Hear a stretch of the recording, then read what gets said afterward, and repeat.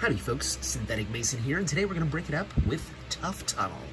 That's right, this is another one of my MOTS, my own Transformers, a tinyformer at that, and with the aid of at I'm from Finland 787, uh, I have a name and backstory for this guy, as well as the other MOT that I showed uh, recently. Um, so let's get down to this guy. Uh, if you will notice, he is similar to some other Transformers I've built in the past. If you look here, he's very similar to Transit in the style of a city bus. Um, kind of similar colors, but yeah. And also, strangely enough, structure-wise, he's similar to uh, Dark Side of the Moon Megatron. Let's get into it. So, so ToughTunnel here, as uh, at I'm from Finland 787 said, he's a big guy, and he's tough, and he's always ready to fight and smash some Autobots.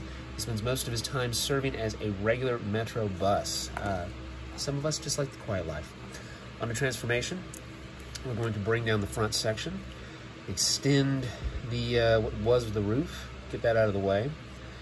Now we're going to slide these sections down, and as we do, we're going to raise up these roof bits to, you guessed it, be big sword and or melee weapons, because why not?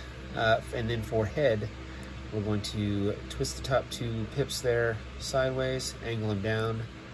I like to give him a little foot here. And check this guy out. ToughTunnel, ready to absolutely destroy uh, some Autobots. Uh, he's gonna, he's gonna, they're, they're gonna run away because uh, it's gonna be rough. But uh, yeah, so this has been ToughTunnel. Uh, next up, we'll have Runaway, which was the name of the little blue car here. But as always, thanks for bringing it up with me, folks. And uh, by all means, continue to comment, like, subscribe, and share my videos. Um, thank you, everyone, for uh, helping me continue this.